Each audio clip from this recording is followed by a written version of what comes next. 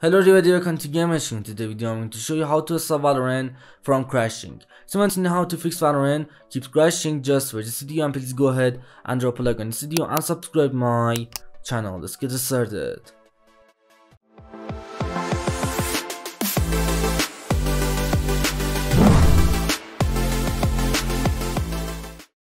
Okay guys, if you have a low-end PC, just go ahead and put all of your Valorant uh, graphic settings to the lowest possible.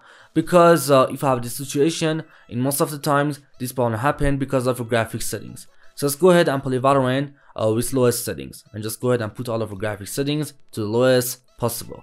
But if that didn't work, just go ahead and change your Valorant compatibility settings. First of all, just go ahead and right click on Valorant icon just click on the Valorant icon and then just go down and go to the uh, properties. Just click on properties. Just click on properties and now just go ahead and click on uh, compatibility and just go to the compatibility tab and then just go down and check this option. Disable full screen optimization and also check this option. Run this program as an administrator. And then just go down and click on apply and then click on ok and just go ahead and run Valorant as administrator and also uh, disable full screen optimizations and it's really help you to be Valorant keeps crashing and stop Valorant from crashing. Just go ahead and run Valorant as administrator.